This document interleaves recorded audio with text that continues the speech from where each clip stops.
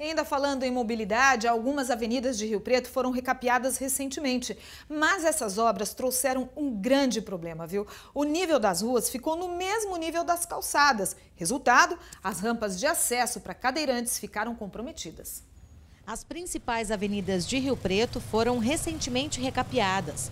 Isso por conta dos corredores de ônibus que estão sendo instalados na cidade. Essa era uma reivindicação antiga dos moradores, ter um asfalto lisinho e sem buracos. Mas essa obra trouxe um outro tipo de transtorno é que a massa asfáltica foi sendo colocada em cima da que já existia e a camada ficou tão grossa que provocou um desnível. Olha só esse local que nós estamos aqui. Essa rampa para deficientes físicos. Quem utiliza cadeira de rodas não consegue passar por aqui não. Nós levamos o Ricardo, que é cadeirante, para dar uma volta pela cidade e não precisou ir muito longe para encontrar barreiras.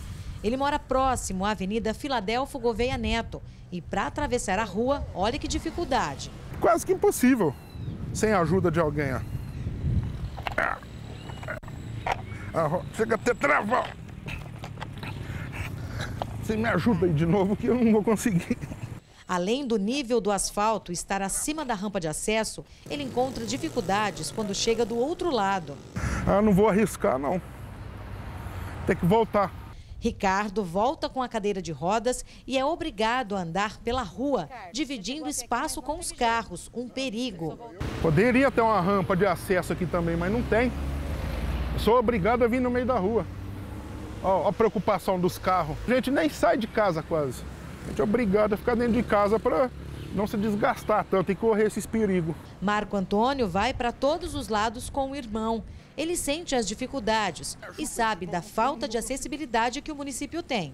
A dificuldade é muita, não só, não só na, na área urbana, né, na, área, na área pública, né, mas também na, nas áreas privadas também. Às vezes eu acompanho ele em barzinho, às vezes para ter uma, uma descontração e, e já o, o problema já, já barra na entrada. As obras fazem parte do plano de mobilidade urbana, que incluem os corredores de ônibus. Mesmo quem não possui nenhuma deficiência e não usa cadeira de rodas para se locomover, reclama da situação do asfalto.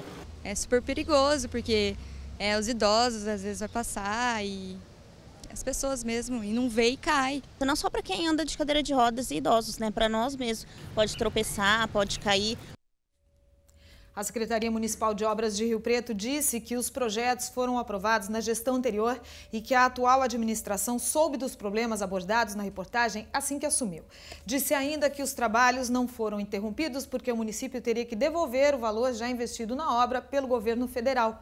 A Prefeitura esclareceu ainda que já se reuniu com as empresas responsáveis pela elaboração dos projetos de mobilidade e acessibilidade para que façam as devidas correções no projeto, sem prejuízos aos cofres públicos.